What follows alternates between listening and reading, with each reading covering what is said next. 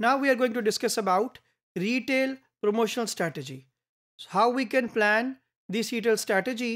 किस तरीके से कौन कौन से स्टेप्स हैं जो इसके अंदर शामिल हैं let me discuss with you one by one तो जब हम बात करेंगे planning a retail promotional strategy की तो हमारे पास ये फाइव मेजर स्टेप्स हैं जो आएँगे सबसे पहला step you have what you have to do is you have to determine promotional objectives जब आप प्रमोशनल ऑब्जेक्टिव्स डिटर्मिन कर लें, उसके फ़ौर बाद आप स्टैब्लिश करें ओवरऑल प्रमोशनल बजट मुझे कितने पैसे रिक्वायर्ड हैं? मुझे कितना बजट रिक्वायर्ड है या कितना बजट मैं कैरी करना चाहता हूँ? फिर तीसरे स्टेप के बाद जब बजट आइडेंटिफाई हो जाए तो फिर कौन सा प्रमोशनल मिक्स आप करने जा रहे हैं, वो सेलेक्ट करना है आपने। तो selecting the promotional mix is the third step in the planning retail promotional strategy फिर फोर्थ नंबर के ऊपर जो फोर्थ स्टेप है that is about implementing the promotional mix और फिफ्थ नंबर के ऊपर you have to review analyse revise the promotional plan तो जो भी आपने इम्प्लीमेंट किया है, उसको रिजल्ट्स को देखते हुए उसको आप रिव्यू करेंगे, उसको एनालाइज करेंगे जहाँ पर एडजस्टमेंट्स की ज़रूरत होगी, उसको एडजस्ट करेंगे एंड देन दोबारा से अपने प्लान को लेकर चल पड़ेंगे। तो starting from the objectives till the revision and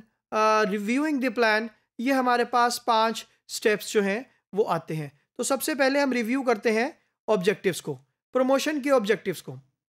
जो पहला ऑब्जेक्टिव एक रिटेलर सेट करता है, वो सबसे पहला है सेल्स को इंक्रीज करना। हमने अभी तमाम मेथड्स पढ़े एलिमेंट्स पढ़े प्रमोशन मिक्स के, उसमें बार बार हर एलिमेंट के अंदर जो की बात आई और ऑफ़ कोर्स रिटेलर का जो कोर ऑब्जेक्टिव है, वो टर्नओवर को सेल्स को इंक्रीज करना है। सो प्रमोशनल ऑब्जेक्टिव्स जो पहला आप सेट करना है that is increasing the sales फिर stimulate impulse and reminder buying बहुत इंपॉर्टेंट ऑब्जेक्टिव है। देन थर्ड कस्टमर ट्रैफ़िक को इंक्रीज करना है आपने। सेल्स के लोगों के लिए लीड्स जनरेट करनी है। क्योंकि जब भी आप प्रमोशन करेंगे, ऑफ़ कोर्स लीड क्रिएट होगी सेल्स पर्सनल के लिए। फिर आपने प्रेजेंट करना है रिटेल इमेज को और री करना है रिटेलर के इमेज को। ये भी one of the promotional objectives में से रिटेलर जो है वो सेट करता है। फिर कस्टमर को इन्फॉर्म करना उन प्रोडक्ट्स और सर्विसेज़ के बारे में जो आप ऑफ़र कर रहे हैं।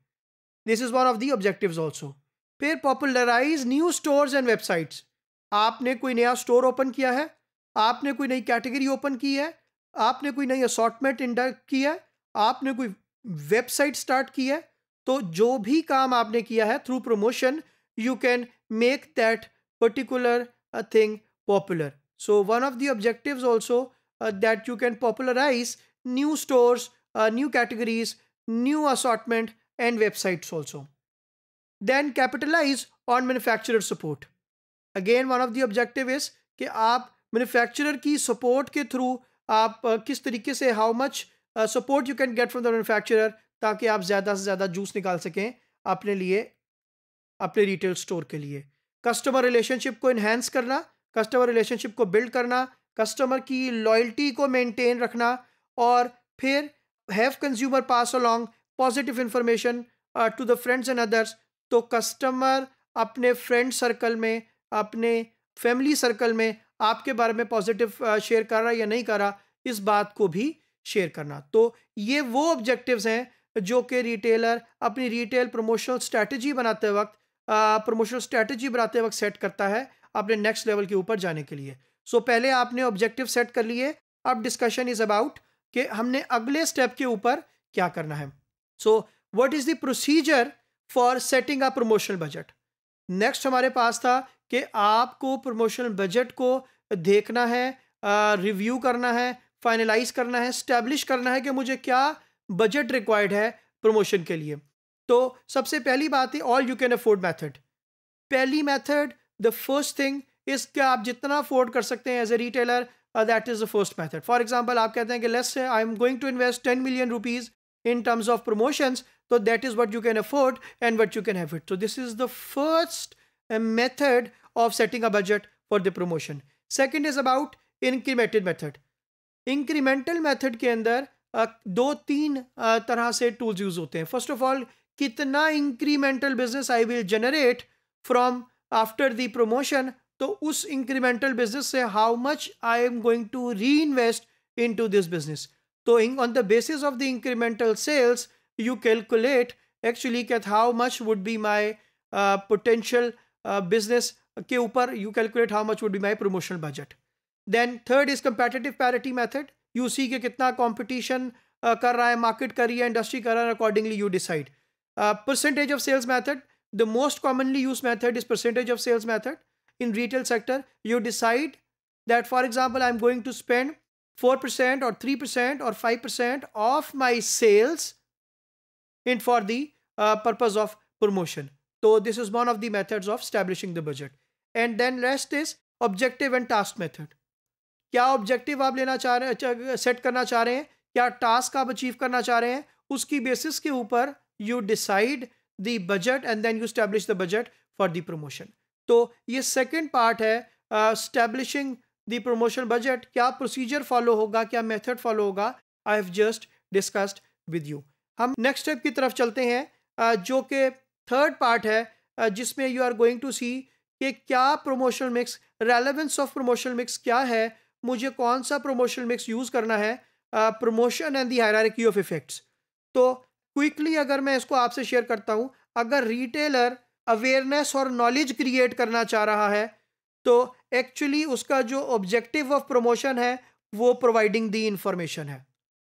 इस केस के अंदर उसको जो प्रमोशनल मिक्स यूज़ करना चाहिए that is pioneer advertising public relations point of purchase और विंडो डिस्प्लेस ये वो प्रमोशनल मिक्स मेथड्स हैं, जो कि वो यूज़ करके सक्सेसफुल हो सकता है। अगर रिटेलर का ऑब्जेक्टिव अपनी लाइकिंग को और अपनी प्रेफरेंस को बढ़ाना है तो एक्चुअली वो जो ऑब्जेक्टिव प्रमोशन से अचीव करना चाह रहा है, वो चेंज इन कस्टमर एटीट्यूड और change in customer feeling about the retail store करना चाह रहा है। तो इस सूरत में जो प्रमोशनल मिक्स उसको यूज़ करना चाहिए, वो competitive advertising personal selling sales promotion assertive efforts और पीओपी डिस्प्लेस ये उसको करने चाहिए। इसी तरीके से अगर कस्टमर का रिटेलर का ऑब्जेक्टिव कन्विक्शन या परचेज को की तरफ़ कस्टमर को लेके आना है विच मीन्स उसका objective of the promotion is to create stimulate desires stimulate needs तो इस सूरत में उसको प्रमोशनल uh, मिक्स के अंदर reminder institutional advertising personal selling और फ्रीक्वेंट शॉपर प्रोग्राम्स अनाउंस करने चाहिए ताकि वो ज़्यादा से ज़्यादा कस्टमर को इनक्रेज कर सके बाइंग के लिए और uh, अपने पास शॉपिंग के लिए। तो डिपेंडिंग ऑन के रिटेलर क्या ऑब्जेक्टिव अचीव करना चाह रहा है और उसके पीछे उसके जहन में क्या एक्सपेक्टेड आउटकम है, उसकी बेसिस के ऊपर you decide your promotion mix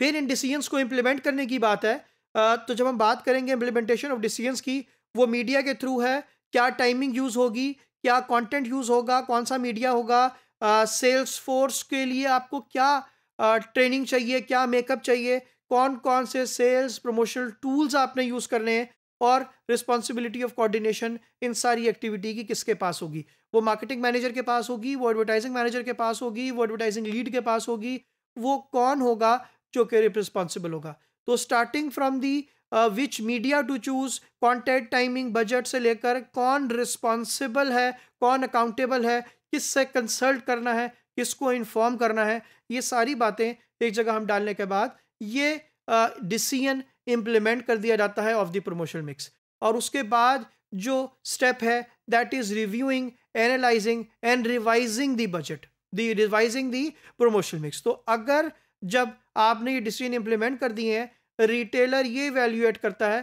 कि क्या जो एक्सपेक्टेड आउटकम मैंने प्लान किए थे, जो ऑब्जेक्टिव मैंने सेट किया था, वो अचीव हो रहा है या नहीं हो रहा? अगर ऑब्जेक्टिव अचीव नहीं हो रहा तो उस केस के अंदर वो उनको एडजस्ट करता है, एनालाइज करता है, रिव्यू करता है और फिर उसके बाद दोबारा से इम्प्लीमेंट करता है ताकि अपने एक्सपेक्टेड आउटकम्स को अचीव कर सके।